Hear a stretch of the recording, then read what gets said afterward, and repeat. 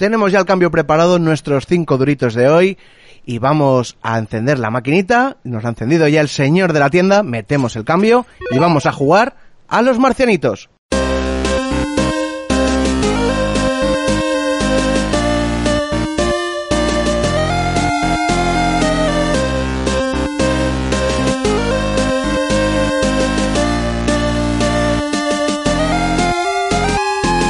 Y en la partida de hoy tenemos los mismos cinco jugadores que, que la partida pasada. Tenemos a Jabo, muy buenas.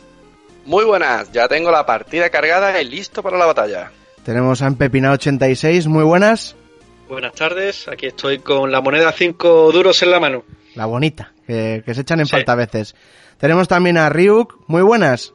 Muy buenas tardes, aquí estamos listos y preparados. Y también todavía sin webcam tenemos a Maeza, muy buenas. Muy buenas, aquí estamos listas para aprender unos nuevos truquillos de los juegos. Y en esta ocasión, además, eh, a diferencia de los dos podcasts anteriores, no vamos a hacer un salto generacional. Nos hemos quedado con muchísimos juegos en el tintero. Eh, una encuesta en Twitter dijo que continuásemos con esto. Y nos quedamos otra vez en esta generación, ¿no? Entre los 90 y principios de los 2000. Eh, la generación, pues un Nintendo 64, Play 1. Hoy creo que vamos a abordar un poquito más el PC, que le dejamos un poquito de lado en el anterior, pero bueno, es que es la verdad que no es indudable que PlayStation fue la que reinó y la que y la que aplastó a las a las diferentes consolas en esta época y el bueno y la carga de juegos era brutal en referencia por ejemplo a su competidora de Nintendo entonces es normal que el grueso del programa transcurra a lo largo en, en la Play pero bueno hoy intentaremos ser un poquito ir cambiando un poquito de palos no sé quién quiere empezar hoy queréis hacer alguna anotación del anterior o directamente alguien quiere sacar su juego de, de la, de la época. Venga, Ah, pues yo mismo. dale. Yo mismo, total, estoy empezando. Ya que nadie se decide, pues mira, pues ya que habla de PlayStation, yo había pensado en cambiar, pero digo, bueno, vamos antes de cambiar, pues vamos a, a hablar un poquito también de PlayStation. Quería recordar un, un juego eh, que fue bastante sangriento. Estoy hablando del Tenchu. No sé si alguno de vosotros habéis jugado. Sí. Yo recuerdo Sí, ese sí, sí. juego y eh, de estaba en casa de mis primos y eh, aparte de eso un juego tenía, que- tenía dos personajes para elegir y entonces mm, podía cada uno tenía una habilidad especial uno era más más despacio iba más un poquito más más sigilosa y eh, la, la muchacha era más sigilosa veis pero era muy rápida y el otro era más contundente pero más lento lo- la característica de ese juego es que era todo demasiado sangriento, decapitaciones, eh, miembros cercenados por todos lados, y lo que sí era un poquito repetitivo, porque eran las misiones eran todas muy, muy similares. Pero lo que más recuerdo, pero no estoy seguro si era en el Tenchu 1, era, tenía un modo multijugador eh, de la misma consola. No me acuerdo en cuál era.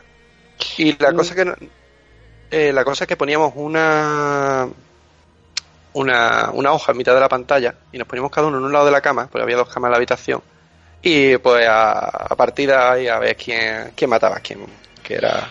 Eh, no, Javi, perdona, los Tenchu los conozco bastante bien porque tuve los dos, el Tenchu 1 y el Tenchu 2, que son los dos que salieron para, para PlayStation.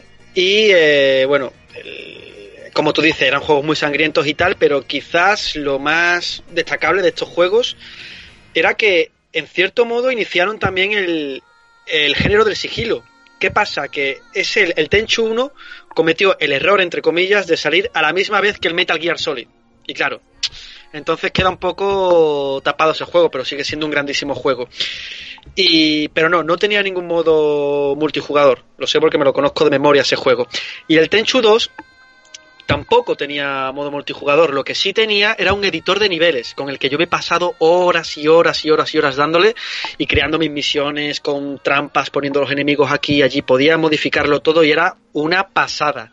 Una pasada, pero no, modo multijugador no tenía. No sé yo si ya quizás en la siguiente generación, porque eso ya no he jugado, a lo mejor sí tenían algún modo multijugador o quizás te estás equivocando de juego, pero vamos. No, ya te digo, no me acuerdo, por eso te he dicho, no sabía si era el primero o el segundo u otro más adelante, pero yo sí recuerdo de un Tencho que he jugado en, multijugador porque recuerdo lo de tirarnos los shuriken y eh, uno contra otro, ¿sabes? Y estamos, éramos varios, éramos tres o cuatro personas y estábamos uno animando a uno, tú sabes, lo típico de una batalla. Por eso no, no he querido especificar en cuál era porque no recuerdo en cuál era. Bueno, Seguramente a lo mejor era otro más. más Cualquiera de nuestros oyentes, si, si sabe reconocer cuál era, pues que nos lo escriba en Claro. A lo mejor estoy equivocado y es otro juego de ninja, pero Oye, pues vamos. ahí me ha llamado sobre todo la atención lo del editor de niveles, tío, que no, no lo conocía. Sí, sí, el Tenchu 2 tenía eh, tres personajes porque tenía uno oculto, eh, que era Tatsumaru, me acuerdo, y tenía un editor de niveles. Y yo, bueno, el- la historia del juego estaba súper currada porque tú te pasabas el juego tres veces. Una con Rikimaru, que era el, el, El hombre. el tío, ¿no? Otro con katana. que era la chica. Y el tercero con Tatsumaru, que era el que te salió cuando ya te lo habías pasado con los otros dos. Y la historia estaba súper curradísima. Y claro, tú lo veías eh, desde la perspectiva de los tres. De los tres distintos ninjas que tú controlabas. Entonces estaba muy completa y totalmente doblado al español y con todo lujo de detalles. Pero por si lo que fuese, tú te aburrías del modo historia, que además era largo, eh, y tenía además unas, cinematic, unas cinemáticas muy, muy curiosas, muy buenas, pues ahí tenías el editor de niveles que te daba horas y horas y horas y horas de diversión. Vale, el Tenchu al que yo hablaba de multiplayer era ya de la siguiente generación. Eh, Claro. de- se llama el Wrath of Heaven. Era el Tenchu que yo Mm, decía. Pero bueno, también sí. era dentro de la saga Tenchu. Tampoco, ¿sabes? Sí. No un poquito más av- avanzado en, la- en el tiempo, en el espacio, pero bueno, Claro. era también de la saga Tenchu. Pues bueno, mira, me ha llamado sobre todo la atención. Yo esta saga la conocía de oídas, lo del editor de niveles, sobre todo en, en un juego de sigilo, ¿no? Que parece un poco extraño hacer un, un generador de, de niveles, la verdad. Y, y bueno, habías mencionado también que salió, ¿no? A la vez del que el Metal Gear. Y sé que habéis estado hablando aquí a micrófono cerrado que queríais darle un ataque. Pues venga, yo creo que es el momento bien entrelazado. Bueno, pues mm, prefiero dejar... Bueno, venga, me, me a mí hablar. Parece que hoy va un poquito de monólogo mío. Nada, que quería me- mencionar que había un... Recuerdo de- del Metal Gear Solid, creo que no sé si fue el primero, o sí de los primeros juegos que rompió la cuarta pared. La cuarta pared, para el que no lo sabe, es el cristalito de la pantalla, por decirlo de alguna manera, en un videojuego, en la que une, en la que separa el mundo real del mundo ficticio. Pues en este juego había un, un personaje, o sea, un, un enemigo, que se llamaba Psicomantis, que empezaba como, te volvía un poco loco porque se te metía en tu memory card y te era capaz de ver los juegos que tú tenías guardados y te iba diciendo de lo, tus gustos, lo que te gustaba, lo que jugabas, cómo llevabas las partidas, no sé qué, no sé cuánto. Claro, tú la primera vez que juegas a eso y ves que un personaje de la consola te está diciendo eso, como que te quedas un poco, perdona, ¿esto qué carajo es? También tenía otra, ya la peculiaridad más grande que, o sea, peculiaridad, para poder derrotar a ese enemigo, siempre que tú luchabas contra él, él se adelantaba a tus movimientos. Parecía que te leía la mente. Entonces, ¿cómo, cómo puedo derrotarlo? No sé cómo salió la solución, no sé si te la llega y si no al juego, no sé si me lo escuchamos por algún lado, no lo sé. Las, Yo, lo sé, te lo decía cuando tú te tirabas muchísimo rato eh, peleando eh, contra Psicomantis y no eras capaz de matarlo, te llamaban por el code que te decían cambia el mando del, del Eso. controla- cambia el controlador de puerto. sí, pero te lo decía de una manera muy sutil, no te lo Claro, te decía lo decía muy sutil. A mí, de hecho, en su momento me lo dijeron y yo no me enteré. Yo decía, ¿qué puerto? ¿Qué controlador? ¿Qué, qué? Porque yo no le digo controlador, yo le llamo mando. Claro. Entonces, yo me quedaba muy loco. Yo, ¿qué controlador? Y yo buscando por la habitación un puerto y un controlador. O sea, imaginaos. Pero no, lo que había que hacer era coger el mando, quitarlo del puerto de jugador del Número jugador uno. 1 y cambiarlo al del 2. Y entonces ya no te leía el mando. No era que te leía la mente, es que te leía el mando. Y eso sí, es como tú dices, una buena forma de romper la cuarta pared. Esto sí, eh, no es ni, ni de lejos el primer juego que rompe la, la cuarta pared de la historia de los videojuegos, pero sí No, fue un caso muy, muy, pero que muy sonado. Y esto, bueno, Quizás ahora mismo la primera creo que vez- acabo de soltar un spoiler muy gordo, porque quizás haya alguien muy raro que no sepa no se todavía haya cómo se mata a Psicomantis, pero bueno. Debemos establecer un límite sano del tema spoilers, ¿eh? Bueno. Porque yo creo que ya esta generación no lo podemos, no podemos considerar spoiler ya. Y, No, pero- y bueno, también ahora la complicación que tendrá la gente que se lo quiera pasar en emulador, de cambiar los puertos en el emulador. O sea, ahora no, estará, ves. no estará para nada fácil ahora pasarse eso. Estaría gracioso de ver, por lo menos. Había otra, otra peculiaridad en el Metal Gear Solid de este tipo, las genialidades de, de Kojima, ¿no? Que en un momento del juego tú tenías que llamar por codec a un personaje que era Meryl, pero tú no sabías su número de codec. y llegaba un momento que te decían, bueno, para saber el número de codec de Merrill tienes que mirarlo en la, en la, en la caja del juego en la parte trasera. Claro, si tú tenías el juego pirata, no tenías la caja ni nada. Era un poco un sistema antipiratería bastante, bastante pintón, la verdad, que estaba guay. También tenía alguno que otro easter egg sobre juegos de la competencia. El mismo eh, Snake preguntaba, oye, ¿no puedo hacerlo, no puede hacer esta misión Logan? Que era uno de los protagonistas de otro, de, de la otra saga, que era el de, no sé si era Siphon Filter. Siphon Filter, sí. Y, dice, no, está ocupado en una misión, no sé qué, no sé cuánto. Y parecía que estaban todos trabajando por la misma agencia, eran distintos juegos. Estaba también gracioso. Bueno, pues ahí la verdad que es, es un, una pequeña genialidad, ¿no? De, de Kojima, que bueno, en mi opinión ha caído ahora un poquito hacia abajo, pero es mi humilde opinión cuando a, a, veces nos pasa, como también incluso a directores de cine, que los sigues durante años, te parecen genios, y a veces de la genialidad llega a la locura muy rápido. Sí. Sí. ¿Habéis, ¿Habéis oído la, la, última genialidad, entre comillas, de, de Kojima? No. no. Esto bueno. es bastante reciente y bueno, sabéis que hace escasos días ha, ha salido ya el port de Dead Stranding para, para PC. Sí. Sí. ¿Y qué pasa? Como el, por la historia del juego y tal, eh, la gente hacía muchas similitudes entre el mundo de Death Stranding y el mundo nuestro real con el tema de la pandemia y la cuarentena y tal. Entonces la gente empezaba ya a rayarse un poco la cabeza y a decir, ah, Kojima es que sabía el futuro, eh, Kojima leía el futuro. O no. Y salió, y salió Kojima diciendo, no, si yo hubiera, si yo supiera leer el futuro, hubiera hecho un juego que se hubiera vendido mejor. Por lo menos con humor, porque, pero sí, sí. bueno, también es que Kojima, pues eso, que llega un momento que digas, mira, ni yo tengo totalmente idea de qué va mi juego, ¿vale? Venga, adiós. Sí, ya se la ese, ese momento, Kojima. No, eso es lo que estaba, la similitud que he hecho antes, que por lo visto Nolan también ha hecho una película nueva que ni los propios actores la entienden, o sea, cosas así. Y más sí, cerca, sí. Almodóvar, que estuve viendo la última película y la verdad que no me fui del cine porque se quedaba sola la, la sala. me daba vergüenza. La otra pareja que había se largó a mitad de película. Joder. Bueno. Bueno, vamos a centrarnos bueno, en, en, en el tema a, videojuegos. Vamos, vamos. Ya si tal, un día podremos hacer un, un especial de cine, de, de, la hora de los marcialitos. Y bueno, ¿alguien quiere traer otro juego a la palestra? Creo que... Maeza, ¿te apetece ponernos algún juego sobre la mesa? Pues en este caso, eh, hablando de esto un poco, me ha venido a la cabeza, no sé si alguien de aquí lo jugó, el Soleil, ¿vale? El Soleil, eh, la gente le decía que era como el Zelda de la Sega, ¿vale? Eh, creo Uf, que salió por el y algo cuando 95, te lo venden 96. es el no sé qué de esta plataforma sí, a veces sí. cuesta no pero el, el, Soleil era curioso porque o sea todo esto me he acordado porque antes no era tan común eh, ver eh, cameos de personajes de otros juegos en, en un juego que saliera vale y este yo me acuerdo que tenía a Sonic o sea, que aparte de que a veces hacen como referencia, porque, bueno, la historia es curiosa porque eh, hablaba, empieza lo típico de eres un joven que tienes que salvar a la humanidad y tal y cual, ¿vale? Pero por el camino eh, pierdes la capacidad de hablar con los humanos y por alguna razón empiezas a hablar con los animales, ¿vale? Y lo que pasa por el camino es que o sea, al, al, final lo que es el estilo Zelda es todo el tema de las aventuras, el ir superando las fases, conocer todo ese mundo abierto, una historia y un entorno bonito y atractivo, ¿vale?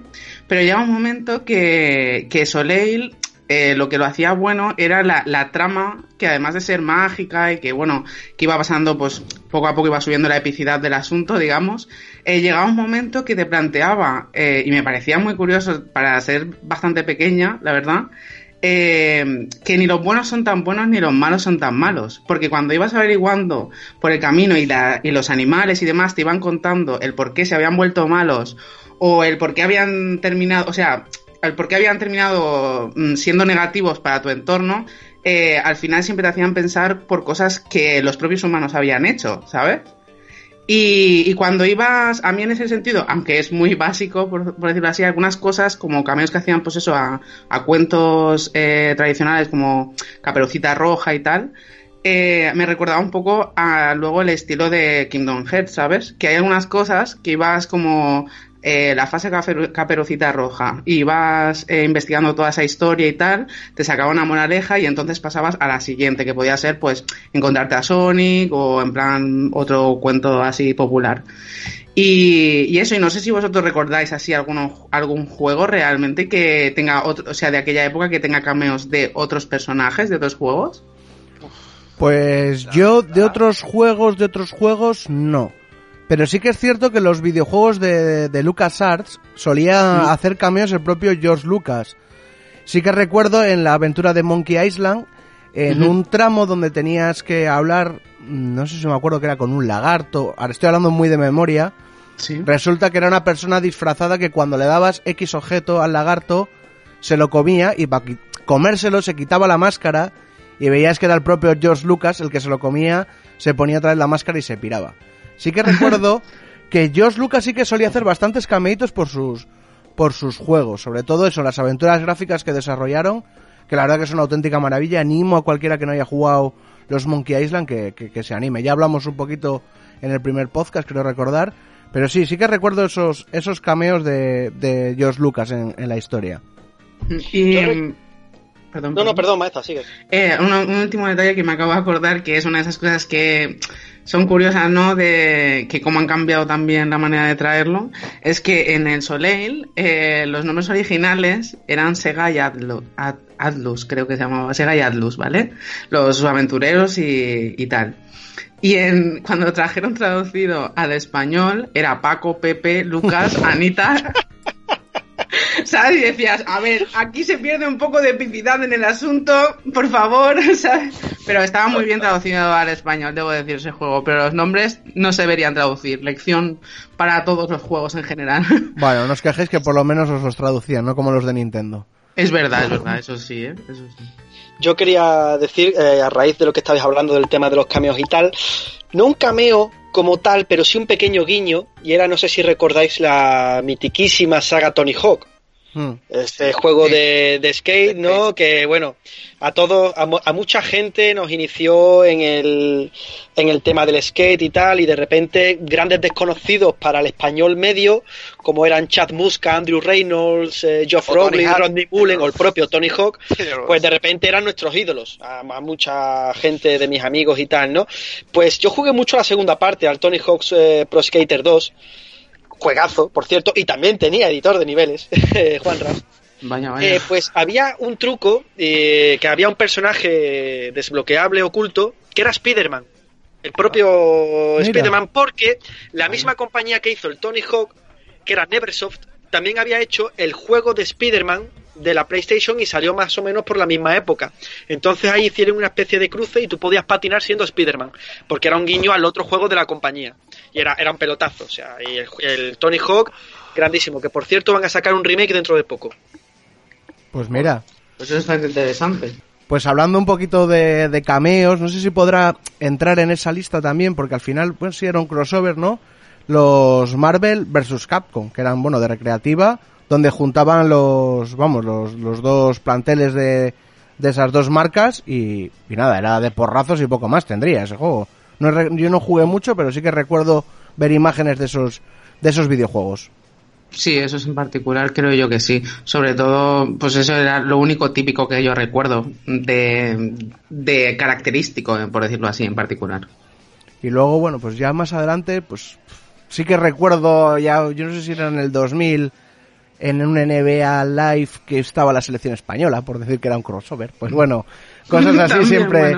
Siempre se solía hacer, yo creo que un poco de, de guiño, ¿no? A la región donde se vendían los, los videojuegos ya en alguna época, ¿no? Con las portadas o algo así. Bueno, recuerdo, me está viniendo justo ahora a la mente en el Duke Nukem Time to Kill. Eh, había un momento que tú, eh, en ese juego, tú podías coger una, una cabina telefónica, llamar por teléfono y se oían como gemidos así en plan, ah, ah, no sé qué. Y el Duque Nukem decía, Lara, ¿eres tú? ¿Sabe? Como un guiño a Lara Croft. No, pues mira, también, no, no, sí, estamos no, pues encontrando. Pues eso sí que es curioso. Pero en ese caso también, Duque siempre ha estado dando guiñitos. Y no sé si era, o, eh, igual estoy equivocado, Doom con Nuke o Nuke con Doom, que cuando tú entrabas te encontrabas en los servicios o algo y estaban los dos juegos. No sé quién hacía un guiño a quién, la verdad. Creo que estaban en relación, no sé si era en el Duque Nuke que se ría de Doom o viceversa, no, no- ser, no lo sí. recuerdo bien. Me suena, me suena. Pero no. Se me suena no- algo de eso, pero me ha venido a la mente ahora mismo y no sé exactamente cómo fue, pero me suena a mí que Duque siempre ha estado como una pequeña sátira y un pequeño guiño a otros juegos. Sí, siempre. Pues bueno, vamos a, a continuar un poco, que veo a Rico un poco callado, no sé si querrás traernos algún juego de la época que hayas recordado. Pues yo, mira, yo estoy repasando listas y demás, tío, pero en esa época yo era muy chico y me acuerdo de muy poco, sobre todo de PC. De Play ya te digo que la he cogido de mis primos, la he cogido de... de eh, ni de amigos, es que yo que va, en esa época nada de consola, además nuestros, mis padres eran cero consola. De hecho yo la Play 1 la he probado en casa de mis tíos y, y cuando mis padres me tenían que dejar con ellos. Recuerdo muy claramente el, sobre todo, y es, a ver, muy claramente el primer nivel, y creo que esto es la Play 1 del Ghosts and Goblins. De, pero el primer nivel, o sea, yo habré jugado mm, días y días al primer nivel del Ghosts and Goblins. De llegar, morir, llegar, morir, llegar, morir. Y algo en mí no se mosqueaba. O sea, de hecho yo hoy día me pasa eso en un juego, de hecho el Dark Soul, y lanzo el mando. Pero yo me acuerdo súper contento allí de ponerme, pum, pum, venga. Eh, pum, pum, oh, un esqueleto, mata un esqueleto, el siguiente me mataba. Puf, había matado un esqueleto, tío. Yo eso era ya... Claro. había, hecho, había hecho la tarde. Y sobre todo yo he jugado mucho al, al Half-Life. Al, y más que a Half-Life, mm, recuerdo mods. Recuerdo mods de, de, de carreras, eh, mods de construir. Era rollo los Sims, pero dentro del Half-Life. Lo que no recuerdo también es si, si la época era, era la que estamos hablando, porque creo que eso fue con el Gmod, pero la primera versión del Gmod. Que no sé si era de, de esa época. Creo que no, creo que era bastante más, más adelantado, pero usaba el, el Half-Life, en realidad. Era el Half-Life. Bueno, el Half-Life, que es un juego que, que nació sobre los 2000, ¿no? Y bueno, hasta ahora. 98. En el 98. Es del 98, sí. La madre que me y. Y a día de hoy, grandísimo juego, grandísimo juego. Hace poco han sacado la segunda parte, creo. O sea, a poco liter. mm, a ver, poco. Me quiero decir que no es como ahora que sacan los juegos cada dos años. Que han tardado muchos años desde que salió la Half-Life inicial a la segunda parte. Por eso me refiero a hace poco. No te que haya salido el año pasado. Eso te iba a decir porque el 2, si no me equivoco, me parece a mí que anda por el 2004.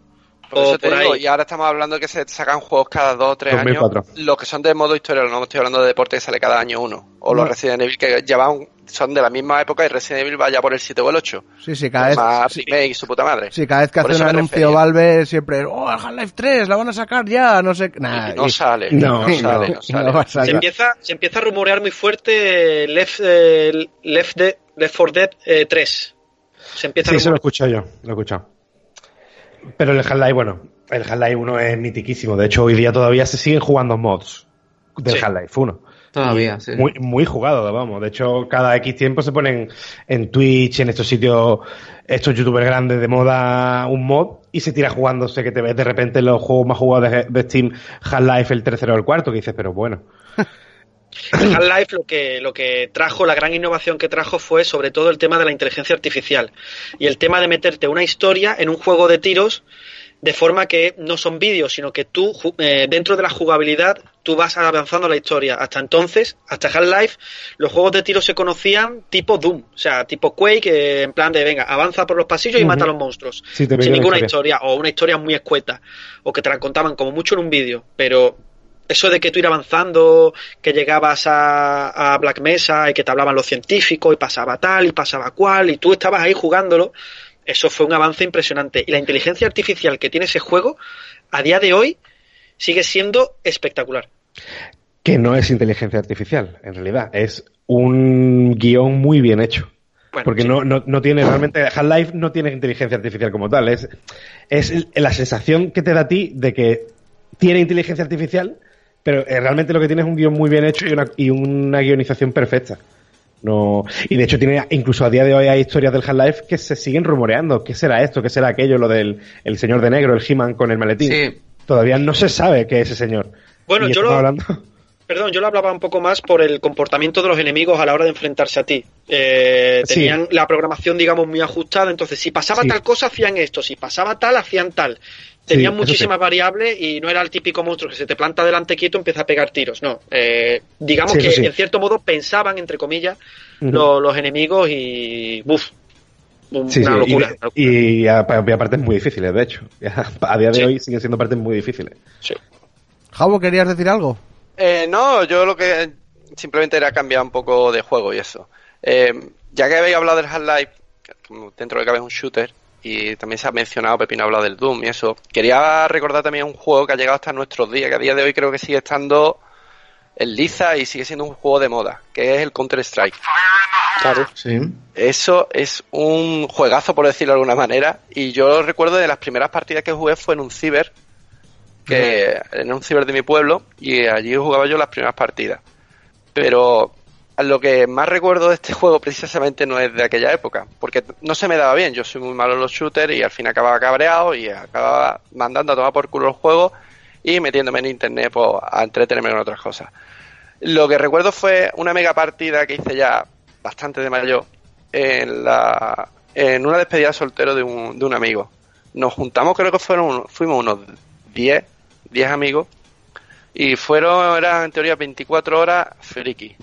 Juegos de ordenador, juegos de consola, juegos de mesa. Entonces teníamos por un lado, mm, teníamos una mesa con 10 portátiles para jugar al Counter Strike y la verdad que echamos casi también- prácticamente casi toda la tarde y parte de la noche jugando este juego y es que fue no sé y siempre lo tengo recuerdo porque claro me recordaba a, a cuando jugaba de pequeño en el, en el ciber y, y que todavía a día de hoy se siga jugando a este juego dice mucho de él vamos Bueno, es que yo creo que no podemos entender los cibers sin el Counter-Strike y el Counter-Strike sin los cibers. O sea, yo creo que, que sin esa jugabilidad en modo local, porque hay que recordar los Sí. internets que había de la época, que para jugar ves. online pocos podrían hacerlo.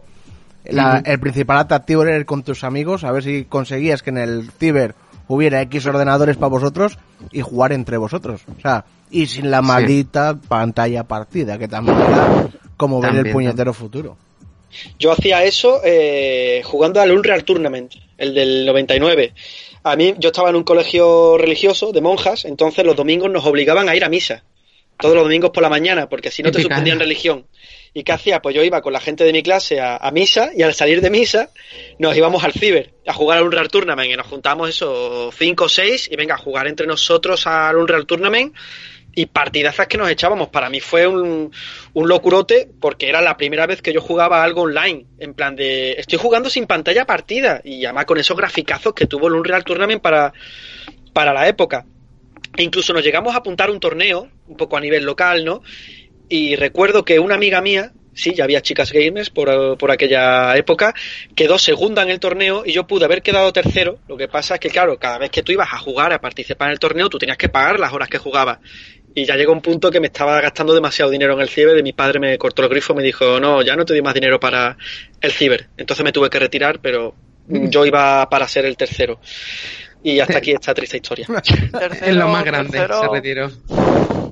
Del, del Unreal, ahora que lo has dicho, recuerdo de que me apunté al me apunté al tenis, a, a una escuela de tenis, porque eh, tenían un ciber dentro de la propia escuela de tenis, ¿vale? Y en el ciber tenían el Unreal Tournament. y recuerdo que yo iba iba al, al, al tenis, mis padres súper contentos, hostia, quiere hacer deporte, increíble. Y, y yo, sí, sí, deporte, hacía mi hora de tenis, y yo después, no, no, pero yo quedo allí con mis colegas, déjame un par de horas después.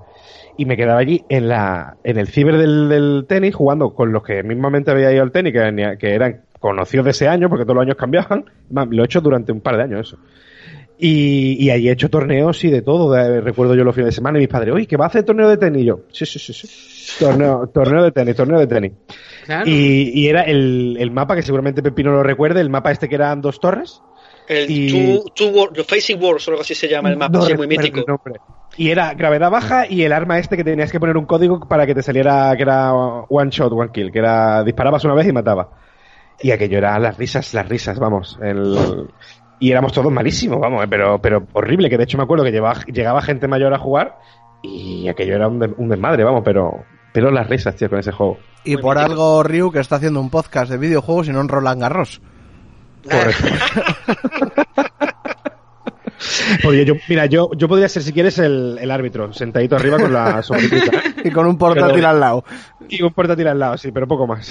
que me diga cuándo se ha salido la pelota. Bueno, vamos a continuar, vamos a sacar otro videojuego que me apetece también mucho hablar, que, que, que le estabais comentando antes, de parque de atracciones. Si hablamos de parque de atracciones y PC, estamos hablando de un clasicazo, ¿no? Veo a Javo ya saltando. Venga, preséntalo tú, que le tienes unas ganas. ¿Yo? No, hombre, habla tú, habla tú. habla No, no, no, dale, dale, dale.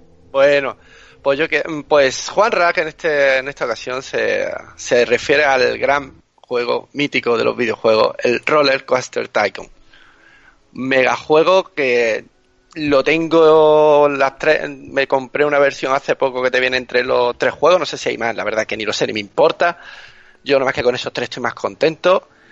Y la gestión de lo del parque, puedes hacer tus propias montañas rusas, eh, probar las atracciones. Y yo tenía siempre la costumbre, supongo que todo el mundo lo ha hecho, de coger y me elegir a un a un viandante que entraba, o sea, un, un ciudadano que entraba para pasar el día en el parque de atracciones y le ponía mi nombre y lo tenía en pequeñito la ventana, todo el rato pendiente a ver qué es lo que hacía. Entonces ponía, me ponía ahí, me ponía a, mi- mis primos, no sé qué, y ya después, en, otro más tarde, en el 3, ya podías probar las atracciones desde dentro. O sea, tú te montabas en tu atracción y venga, vamos a probar la atracción. La veías, la veías en primera persona cómo se movía, la verdad que guapísimo ese juego. Y estoy. Me, lo, me lo acabo de instalar otra vez por- porque tengo mucho mono de jugarlo. Yo ese, el primero que, que, que jugué fue al 2 y realmente pasabas horas, horas y horas diseñando las montañas rusas. Yo siempre perdía los niveles porque me gastaba un dinero en montañas rusas por encima de mis posibilidades. Para que luego te llegase el puñetero muñequito, se pusiera a la puerta y dijera, oh, esto es demasiado para mí, no voy a entrar. Y me he tirado cinco horas diseñándote esta pedazo de montaña rusa que da gusto verla para que todos digan, no, esto es demasiado para mi corazón, me voy. A ver, tenían una mala leche.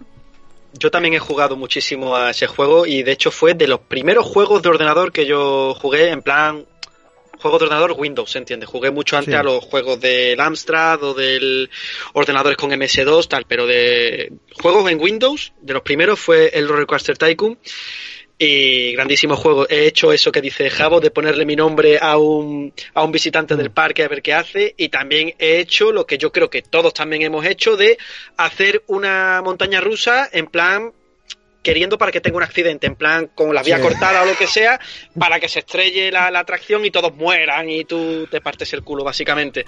Salía el pequeño sádico que teníamos dentro. Igual que sale, por ejemplo, en los Sims, lo típico de quitar la escalerilla de la piscina o encerrar a alguien eh, cerca de la chimenea para que todos, todo saliera ardiendo. En verdad, los videojuegos sacan lo mejor, pero sobre todo lo peor de todos nosotros.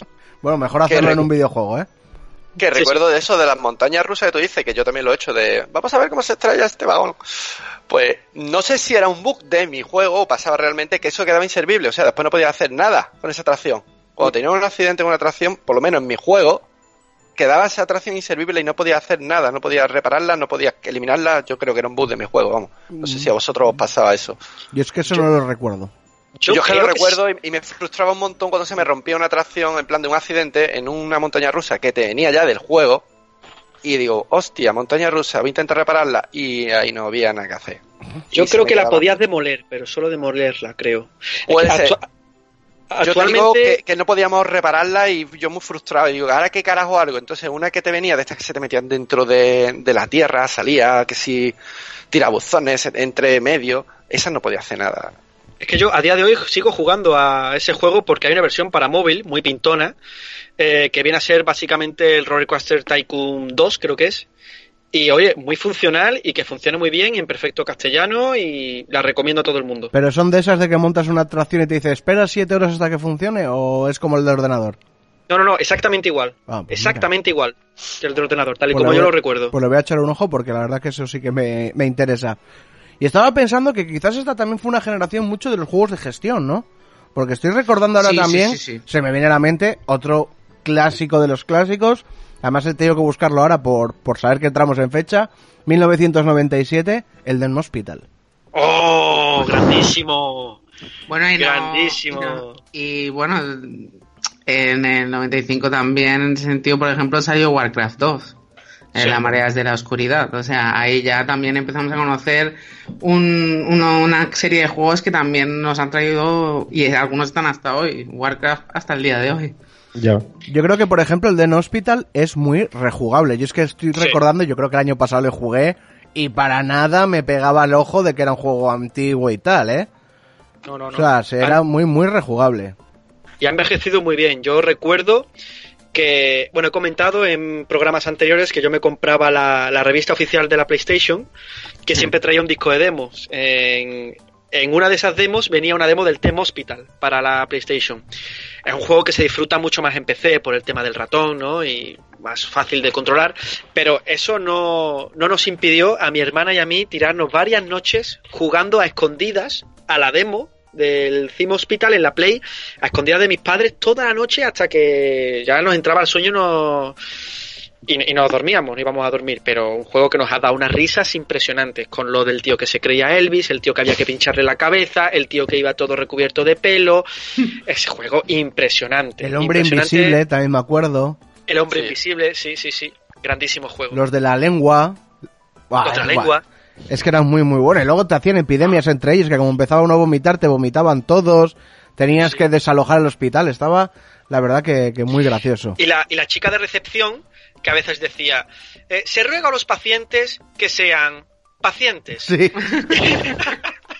Sí, sí, tú, gracias, gracias por la info. Aviso al personal, pacientes con risa. Contagiosa.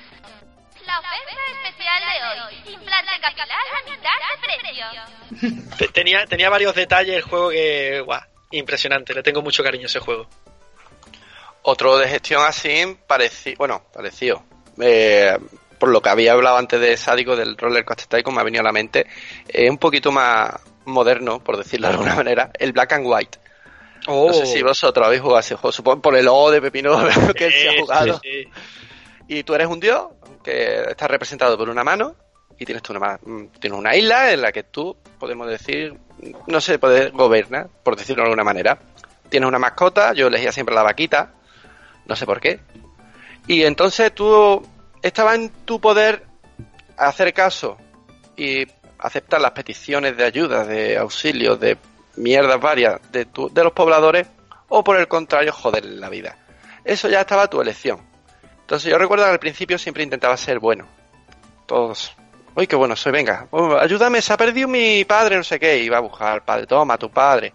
Cuando se perdía el padre ya, o de fulano, que se ayúdame a recoger, ya te tocaba tanto los huevos que yo cogía ya el muñequito, lo tiraba en el mar, cuando se ahogaba, antes que se muriera lo cogía, lo lanzaba para otro lado, y yo qué sé.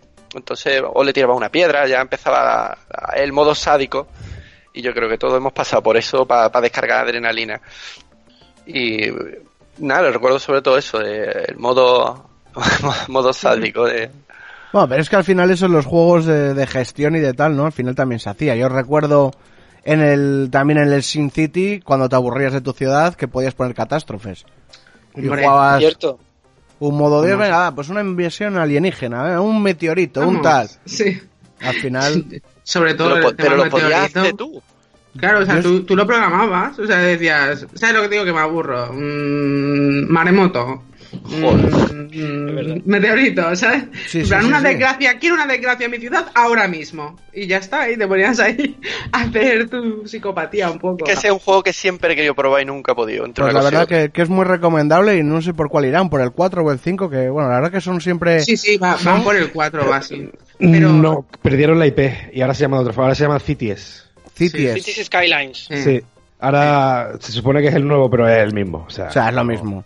Yo lo que, lo sí, lo que sí te digo es que son jodidos, ¿eh? O sea, a mí los Sí, sí, juegos sí. de gestión costaba Sí, pasar ah. de pueblo a ciudad, ¿eh? O sea, sí, sí, sí. si Fácil, llegabas a si llegabas a montar una villa, estate contento, porque Pero era a mí, muy de complicado. cierta manera, eh, yo debo decir que con los juegos de los Sims en general, obviamente los Sims, pues eso, nos acompañan desde los 90 ya hasta los días de hoy. Y de lo que era lo que es, pues, un mundo, ¿no? Pero a mí, por ejemplo, los Sims en particular me parece un juego muy perturbador. Porque, aunque es un juego obviamente divertido y tiene toda la profundidad de, de toda la gestión que puedes llegar a realizar y lo que puedes aprender, en parte digo yo, ¿no os parece que eh, es un juego eh, que en parte te hace darte cuenta que mm, de las cosas que no estás haciendo bien en tu vida? O sea, porque en teoría cuando juegas a los Sims y cuando quieres gestionar cosas, por ejemplo, si quieres que sea muy profesional, eh, pues tú quieres que, tú puedes que, que sea, pues eso, muy profesional en lo suyo, lo que hayas elegido, o, o que simplemente sea feliz, pero si quieres que sea muy bueno en lo suyo, igualmente tienes que empezar a compensar el resto de tipo de, de cosas, ¿no? En plan, que tenga algo de vida social, que, se, que coma bien, que mantenga una higiene, todo ese tipo de cosas así, ¿sabes? Y ya son, no solo en plan la ciudad, sino ya el- los propios individuos de toda la, la evolución que ha tenido los Sims. Entonces, en determinado momento, creo que cuando llevas muchas horas jugando, ¿sabes? Eh, en parte, pues eso, es como que te ayuda a darte cuenta de las cosas que no estás haciendo bien en tu vida para completar tus objetivos, ¿sabes? Y por eso, en parte, me parece un juego un poco perturbador. O sea, es divertido y es complejo y tal, pero en parte hace como, creo que hace como que te reflexiones qué estás haciendo en tu vida mal. Lo mejor es que estás gastando demasiado tiempo en, en los juegos, ¿sabes? En ese momento, por ejemplo. Pero bueno, una pequeña reflexión así simplemente. A mí lo que me resultaba los Sims era demasiado estresante. Mm. La verdad, el de que se levantaba el. Cuando se te levantaba el muñeco, que tenías que darle de comer, que si se ponía. Que, hostia, tengo que ir a trabajar a la café, ahora se está meando, ahora.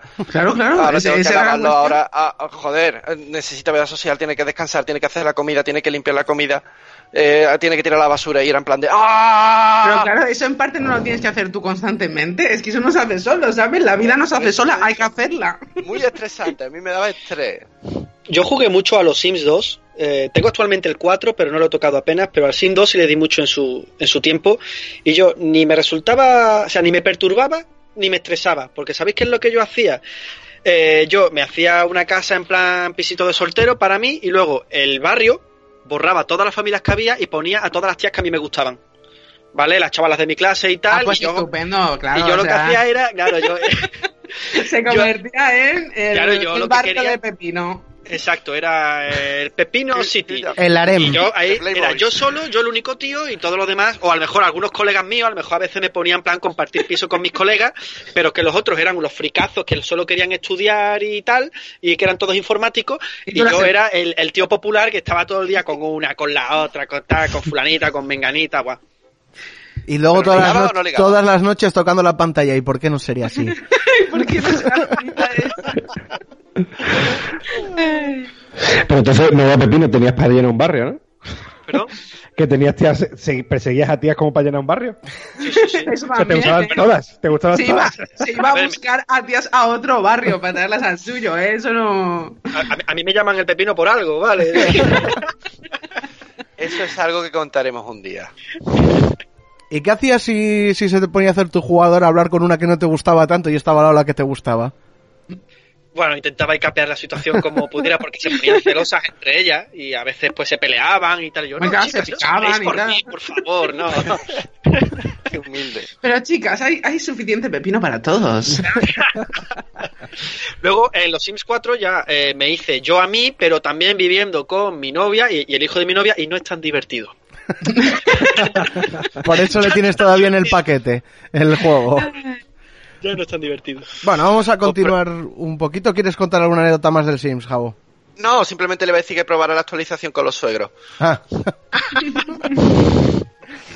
bueno, vamos a continuar un poco y quería traeros yo pues un juego, sobre todo un género que no hemos tocado mucho y es el género de naves, porque quería hablar un poquito de este pedazo de juego que es el Star Wars Rogue Squadron, que sacaron luego actualizaciones que le llamaron Rogue Squadron 3D para, para PC, un título engañoso porque este juego era en un perfecto 3D. Y para los, los amantes de la saga de Star Wars, pues no sé si aquí habrá, me imagino que sí alguno. A mí me encanta la saga y para mí fue el de los primeros juegos que tuve en, en la Nintendo 64 y de mis primeras frustraciones porque era un juego realmente complicado quizás para, para mi edad. No entendía a veces muy bien las misiones. Insisto, el problema que teníamos con, con el inglés en, en, en la época y que no había traducción en la Nintendo. Pero lo, lo, lo fascinante era la cantidad de naves, de misiones, el universo expandido que, que te enseñaban en, en este videojuego, eh, incluso llegando a, a, a cómics, o sea, por fuera de las películas y explorando un universo bastante expandido dentro de, del juego. Por ejemplo, recuerdo una misión que tenías que pelear o destrozar lo que llamaban los destructores de mundos, que son cosas que se ven después de, del regreso del Jedi, que bueno, que son para la gente que, que le guste el, el mundo Star Wars, son del cómic El Imperio Oscuro, un cómic súper recomendable, se encuentra ahora Sí. bastante bien, donde te enseñan pues eso, los planes del emperador de después, cuando muere, y ves una total malgama de naves de, de ahora, del futuro. Es más, incluso en un truco no se había, no se había siquiera estrenado todavía la película, por lo menos en España, de Star Wars, y podías Sí. jugar con la nave de los Naboo, esta amarilla. Ah, vale. Metías una serie de códex y te dejaban jugar con eso, o sea que estaba ya todo programado de antes. Podías jugar también con el halcón milenario que le veías tú, ibas pasando la navecita así por... por... Era muy guapo cómo seleccionabas la nave, que era el propio Sí. hangar de la resistencia, y le ibas dando a la derecha y veías el halcón milenario detrás y decías, "Joder, yo quiero coger el halcón milenario como tal. Se podía con trucos, había muchos passwords, y también podías incluso jugar con un cazatai de, del imperio. Pues es un juego que realmente al que... A ver, ahora igual se hace un poco duro, yo le he puesto otro día en la máquina. Igual sí que recomiendo ir al de PC porque el de, el de Nintendo sí se queda un poco atrás. Un juego súper divertido de navecitas, revivir lo de Star Wars. A un chaval no le puedes pedir más en la época que, que jugar a este juego. No sé si vosotros tenéis juegos de naves de esa época. Mi, mi particular juego de naves era este. No sé si vosotros... ¿Sí, Yo Pepino? este- Ah, bueno, el mío era el mío era uno de una saga que había en la PlayStation que era la saga Colony Wars Mm. y era bueno un juego de nave digamos muy Mm. genérico pero con unos muy buenos gráficos y bastante realista bastante bastante pintón para la época recuerdo que me gustó mucho y de hecho me encantaría que a día de hoy hubiese algún remake o algo porque me imagino un juego de naves como ese en la con, con la con la tecnología actual y sería un pasote el- yo de hecho creo que el juego o sea el género de las naves es un género que tendría que volver Sí, se ha perdido bastante. Sí. se ha perdido. Ahora, en algún podcast, en algún podcast algún día en el futuro tenemos que hablar sobre géneros olvidados y creo que el género olvidado por antonomasia es el género de las naves. Bueno, pero tengo una, una objeción con eso. Sí. Y eh, en este caso es, o sea, el tema es que es- este formato de las naves, más en plan en 2D, por decirlo así, sí que está ya más obsoleto y no se usa tanto, pero lo que pasa es que el nuevo género de las, de las naves es algo mucho más complejo, o sea, sí que tenemos universos online como puede ser el EVE Online, que estamos hablando de otro nivel de naves, o sea, de- que es, que es, o sea, eso, ahora lo que hay es mm, juegos mucho más complejos de naves, no tan jugables simplemente en plan día a día como lo eran antes. Yo de, por ejemplo, de la Sega de antes sí que recuerdo, aunque no lo recuerdo en su total amplitud, el Thunder Force 4, que ese sí que he hecho alguna partida alguna vez. Y recuerdo que sobre todo pues era un, un juego que era muy llamativo con los colores, o sea, que no tenía en plan unos gráficos flipantes, ¿vale? Pero los, los eh, colores te hacían todo el rato querer seguir jugando y era como muy frenético y tal. Y yo de, aqu- de mm, lo que son naves espaciales, lo que más recuerdo de esa época es ese. Y también el tuyo, pero por echar alguna partida con amigos y tal. Eh, pero que eso, que sobre todo las generaciones nuevas de juegos de, mm, de naves espaciales ya digamos es otro nivel. Es a nivel ya pues un poco casi metiéndote un poco en la VR o intentan un poco meterte en esa en, en ese entorno, por decirlo así. Sí, Río, ¿querías comentar algo? Pues sí, mira, te voy a dar una alegría. 2 de octubre, Star Wars Squadrons. Sí, sí, ya, ya, ya lo había leído. Le tengo unas ¿Lo ganas. viste? Es básicamente prácticamente lo que estás tú comentando, pero ya a, a moderno, más moderno. Sí. Yo, mira, quería también puntualizar un poco lo que ha dicho Maeza, porque a mí realmente me parece que, hay veces que los desarrolladores están vendiendo la jugabilidad o la diversión por los gráficos y la cosa complicada. Porque hay veces que intentan hacer cosas como em, de naves tan complicadas que a mí si me pones un 2D de toda la vida, lo veo desde arriba, Sí, sí. esquivando bolitas, no sé qué, tal cual, con unos buenos gráficos, una incluso unas buenas historias y tal, yo me lo paso igual de bien. No entiendo ahora esa obsesión del graficón, del no sé qué, cuando realmente hace nada he, rejugado a los, Con- a los Donkey Kong des el freezer este para la Switch y me lo pasa como un enano. Y realmente, sí, ves un Donkey Kong más bonito, más tal, saltas, no sé qué, traen cuatro cosucas modernas, pero joder, son géneros que funcionan. No entiendo por qué hay que hacerlo ahora todo tan complicado y todo para... que a, mí, a mí me pones el Tetris 99 y estoy toda la tarde jugando y es, y es el Tetris, o sea... Sí, Es que yo creo que la, la diferencia es que sí, actualmente hay juegos de naves, pero es como, es como tú dices, son muy complejos y yo creo que, es que están más enfocados a la, a la gestión, que si tienes que ir a recolectar recursos en un planeta, que si tienes que comerciar con otros sistemas solares, tal, tal, tal, tal, tal. No, no, no. Yo quiero que vuelvan los juegos de naves, pero los típicos de tú meterte en tu nave y pegar tiros a marcianos. Eh, Es que eh, eh, solo eso, yo solo quiero pegar tiros en el espacio, no quiero más. Al marcianito. pues sí, Exacto. quizás el juego de Star Wars es el, el que buscas.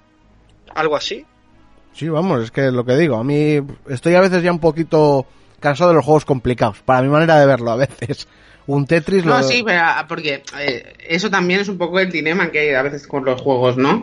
Que está muy bien que hayamos avanzado en, en todo lo que es la profundidad de lo que podemos llegar a hacer con un juego, pero no por ello eh, tiene que dejar de existir juegos clásicos, simplemente porque no siempre me quiero complicar, me quiero concentrar a, jugar una partida, a lo mejor simplemente quiero echar unas partidas tranquilas en, en un juego que sea más simple, más sencillo, y no por eso tiene ni que tener menos historia, ni que tener menos profundidad, o sea, mm, simplemente es como que estoy pidiendo otro tipo de recursos en ese juego. No hace falta que todo sea súper espacial, que, que piense ya que estoy en el espacio siendo un astronauta, ¿sabes? A lo mejor simplemente quiero echar, pues eso, unas partidillas a mis marcianitos de toda la vida. un poco. Eso es. Mira, un juego relativamente actual, bueno, una saga más bien relativamente actual, que eh, el juego es divertido, pero hasta decir basta, y que, que ha conseguido crear un universo espacial muy rico y muy creíble, es la saga Mass Effect. Mm. Aquí, bueno, nos estamos yendo un poco el tema porque me estoy yendo... Sí. Claro. Eh, pero, Varias generaciones. claro, me he ido varias generaciones atrás, pero Sí. para adelante, pero Mass Effect es un juego, digamos, de nave, entre comillas, aunque no llegas a controlar ninguna nave tú, pero... Oye, es Las capaz gestionas, de... las la- gestionas. en cierto modo, matan marcianos, pero yo quiero matar marcianos, pero la nave. Que es lo que, lo que a ti te gusta. Y destrozar planetas, porque sí. Bueno, nos vamos acercando ya poco a poco a la recta final, ¿eh, muchachos? Digo por si queréis sacar algún juego, porque a la próxima generación, o sea, a esta generación Pues- igual el siguiente no volvemos. Alguno que Pues digas, antes- se tiene que quedar aquí. A mí me Yo- gusta, ya que vamos a- antes de cambiar de, de generación, uno que ha pervivido, que pervive hasta nuestro día de hoy, que es los GTA. O sea, eh, el GTA, aunque parezca mentira, empezó eh, en los- a finales de los 90, el primer GTA que sacaron. Que era, si tú lo ves a día de hoy, es algo, era muy rudimentario comparado con, obviamente, con el día de hoy. Se ve una vista cenital, misiones en plan de te llamaban por teléfono, uno, sonaba una cabina, tú te, te bajabas del coche o si lo robabas o iba andando y disparito que veía la bolita moverse. Pues yo recuerdo sobre todo el 2 que ya metieron una cosita más, que era el tema de las alineaciones con las bandas. Entonces tú ibas haciendo, cada banda te iba mandando eh, distintas misiones y dependiendo de a quién tú más misiones hicieras, te iba alineando con esa banda. Y cuando ibas a territorio te encontrabas a enemigos de las otras bandas, que, aunque tú lo hubieras hecho misiones, como te estabas alineando más con esa banda, te atacaban. Entonces ya iba cogiendo un poquito más eh, lo que es el día de hoy. Y entre todos los GTA siempre mm, hay algo que están como un poquito entrelazados. Hay algún personaje que aparece en uno, aparece en otro y, y la verdad que empezó aquí eh, el GTA que a día de hoy todavía lo tenemos lo tenemos presente, vamos. Yo creo que de GTA tenemos que hacer un monográfico realmente, porque GTA Sí. es un universo enorme y no podemos dejarlo así en dos pinceladas. Oh, Río, querías decir algo que habías pedido la palabra, ¿no? Ah, pues te había visto antes con, con intención de hablar y digo, va, pues igual quería...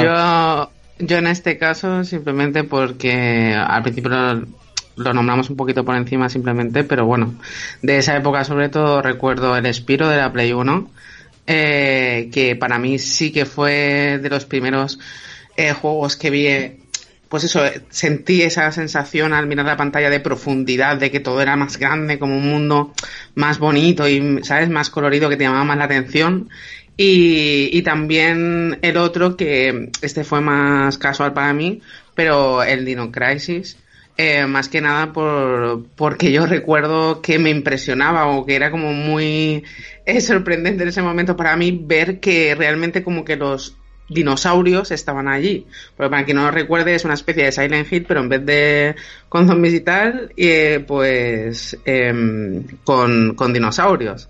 Entonces, ¿qué es eso? Que veías el cuerpo y que lo podías rodear y decías, ¡buah, que está ahí! ¿Sabes? Pero, pero eso, dos menciones así honoríficas simplemente que recuerdo así en plan de ver por primera vez, pues como notar el volumen en los juegos y la profundidad de los escenarios. El Dino Crisis era básicamente un Resident Evil con dinosaurios, de hecho era de los mismos creadores, Sí, era, ah, ambos eso. juegos eran de Capcom. Que, que he, dicho, he dicho Silent Hill, perdón. Sí, sí, por eso digo, No, me, pero- me ha, me ha parecido raro, Sí, digo, sí. lo compara con Silent Sí, Hill cuando sí, es un sí, Resident eso, eso es.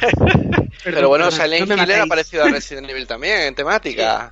Era Claro, un juego sí, de, sí, de bueno, survival cada horror. uno, cada uno viene de su creador, hay que respetarlo eso. Mira, me he acordado ahora mm, que habéis dicho lo de los juegos de nave, bueno, hace un, po- hace un poquito. Eh, actualmente hay uno, el Rebel Galaxy se llama, ¿vale? Es, no sé si lo conocéis, es un juego de naves. Básicamente tú eres un chaval que tu tía se ha pirado y te ha dejado su chatarra espacial. y ahí empieza la historia. Y tienes que ir de un puerto a otro y hay batallas de naves, vas matando marcianitos, vas mejorando tu nave, vas... Es quizás lo más parecido a lo que hemos hablado antes de juego de nave que Ah, puede bueno. haber, digamos, actual. Pues a lo tiene, un mejor poco, eso- tiene un poco de eso- todo. Eso un día en Twitch, aquí todos jugándolo.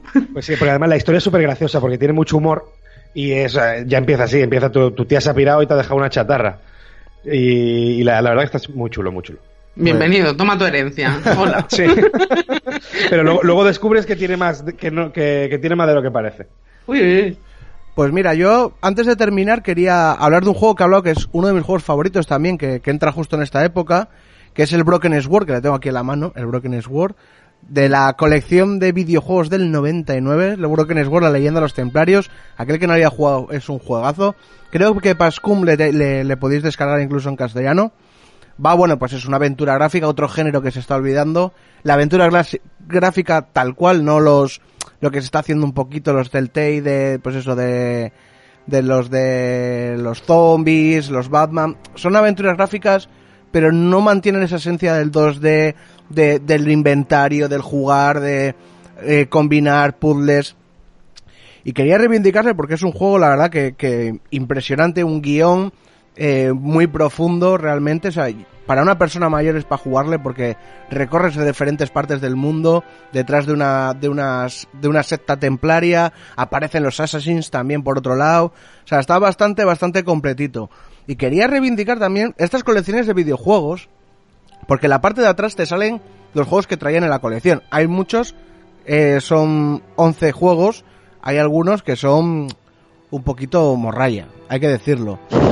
Pero en esta colección de juegos, yo que la, tuve completa, la verdad, que no sé dónde la, eché, porque es una pena, pero entre estos juegos encuentras grandes perlitas como el Dragon Slayer 2, que es un pedazo juego, el Command and Conquer, no sé, que es otro clásico de, de los videojuegos, el Prisoner, Prisoner of Ice, que es otra aventura gráfica bastante chula, la verdad, que para aquel que no lo, que le gusta la aventura gráfica que es muy disfrutable y también el primer contacto que tuve yo, pues eso, con, con nueve añitos que fue cuando salió esto, con el Alone in the Dark, que fue un juego que me dio verdadero pavor. O sea, ahora mismo ves el monstruo que salía y me estaría riendo del tres días, pero Claro, pero en aquel momento. en aquel época con nueve ¿eh? añitos me dio muchísimo miedo. Sí, Javo.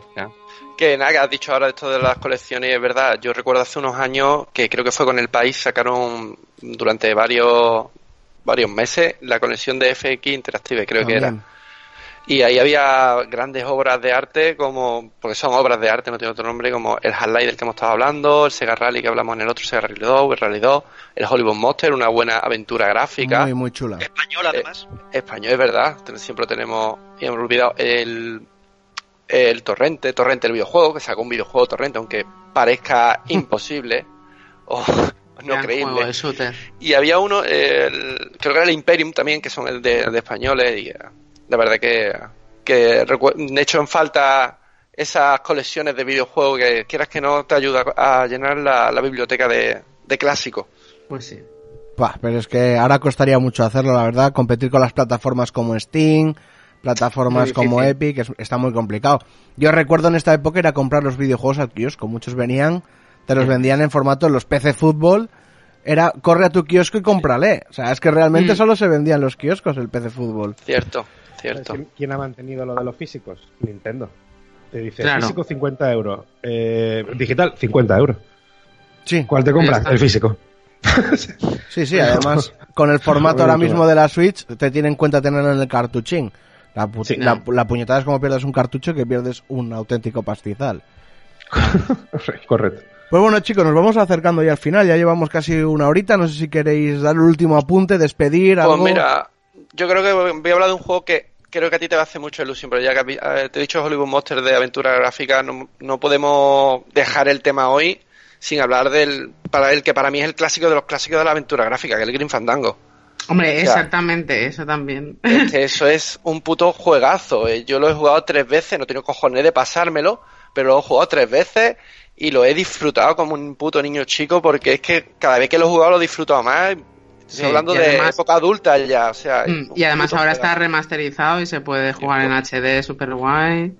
Y está muy, muy logrado, o sea, está muy bien hecho y muy bien remontado, digamos. Hombre, es que el Green Fandango, la verdad, también pegó un golpe de la mesa y sobre todo consiguió hacer una aventura gráfica, a mi manera de verlo, que es uno de los géneros, creo que la audiencia ya se ha dado cuenta que más me gusta. Uno consiguió dar un salto al 3D, que no era fácil hacerlo en, en las aventuras gráficas.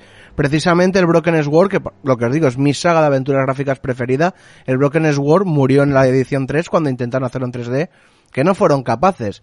Fueron también Ah. Una época que luego podemos hablar, que bueno, en el siguiente podcast, que es ya Play 2, cuando ya se tenían que hacer las cosas en 3D por narices, porque era lo que se vendía y era lo que había que hacer. En mi opinión, Mm. error. Sagas como Broken Sword murieron. Ha tenido, Claro. ha tenido una última entrega al método original, 2D, hecho todo a través, pues eso, de, de pagar por los, ¿cómo se dice? Por crowdfunding, en un crowdfunding en el que yo participé.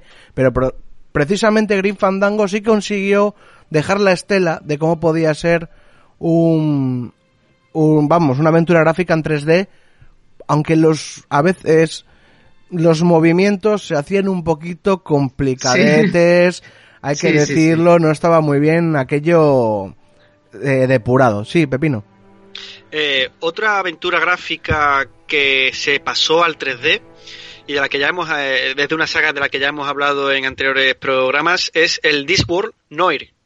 O sea, de la saga Mundo Disco, Sí, sí. eh, al final de la vida de la PlayStation, cuando ya le quedaba poco para morir, no recuerdo el año exactamente, sacaron un Discworld Noir. Y era como que tú eras un, un detective y era como muy oscuro, muy tétrico, pero era el mismo universo de, de Mundo Disco. mundo disco. Sí, pero un poco un tono quizás un poco más serio. Y si mal no recuerdo, ese juego también era en 3D y también muy bueno. Recuerdo que me lo pasé. Sí, Javo. No, era simplemente cuando has mencionado lo de la maniobrabilidad de los personajes. Sobre todo recuerdo cuando tenías que mover a Glotis con el cochecito ese raro que hizo. La verdad que era un poco desesperante. Sí, había- Hay que reconocerlo. Había tramos por ahí que la verdad que, que Se hacían duros. era la época, pero bueno, hay que tenerlo en cuenta. Pero bueno, me imagino que en el remaster no le he jugado o habrán depurado un poquito esto.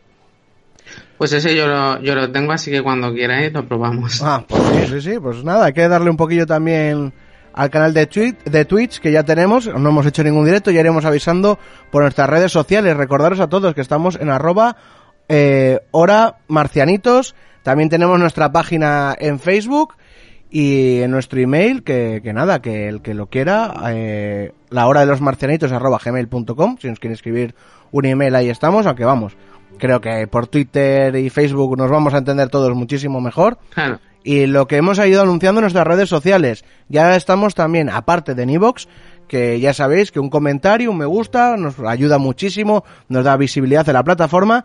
También estamos en Spotify ya esta semana, comprobado. Ya le he pegado al play en alguno de ellos y sonamos.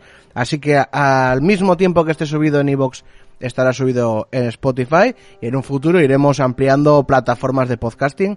Ya iremos viendo cuáles y si hay algún oyente que le es más cómodo otra plataforma, pues que nos lo diga y vamos mirando cómo meterlo allí sin ningún problema. Pues bueno, se nos ha acabado el crédito, muchachos. No sé Vaya. si tenéis más cambio o hay que ir para casa y pedirle a, a mamá o nos juntamos dentro de 15 días con un poquito más de, de pasta. Sí, Dentro, lo lo de último, 15 lo días. Pues nada, dentro de 15 días quedamos aquí, subimos la moneda, dejamos a los muchachos atrás que están fumando un cigarrín que jueguen y vamos a terminar el podcast. Pues nada, hasta dentro de 15 días. Adiós. Adiós. Adiós.